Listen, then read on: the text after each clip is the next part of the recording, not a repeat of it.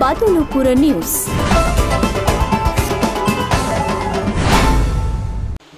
සුන්දර වගේම ලස්සන තැන් බලන්න සංචාරකයන් බොහෝ ඇලුම් කරනවා. දෙස් විදෙස් කියා බේදයක් එයට නැහැ. අපේ ජනතාවත් ලැබුණු සෑම නිවාඩුවකදීම සංචාරක ස්ථාන බලන්න යන්න පුරුද්දක් කරගෙන තියෙනවා. පසුගිය සතියන්තයේ පැවති දීර්ඝ නිවාඩුවත් එක්කම බදුල්ල දිස්ත්‍රික්කයේ විවිධ තැන් නරඹන්න විශාල පිරිසක් පැමිණ සිටියා.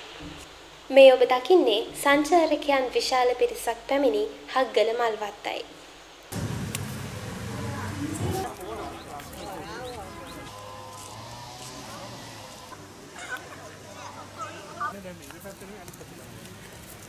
එවැගේම හපුතලේ ඇඩිසන් බංගලාව නැරඹීමටද විශාල පිරිසක් පැමිණ සිටියා.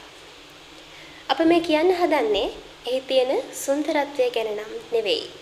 ඇඩිසන් බලන් එන සංචාරකයන් කරන එක්තරා අශෝභන වැඩක් ගැනයි. ඇඩිසන් බංගලාව වෙත දිවෙන මාර්ගයේ දෙපස ඇති තංගමලේ වතුයාය තුරුලතා බොහෝමයකකින් සමන්විත සුන්දර රක්ෂිතයක්.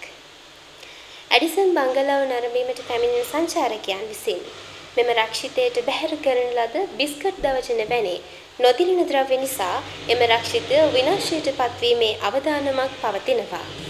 ඉතින් මේ විදිහට සුන්දර ස්ථාන බලන්න ඇවිත් අවට පරිසරය හානියට පත් කරනවා නම් එය කෙතරම් නම් ඛේදනීයද?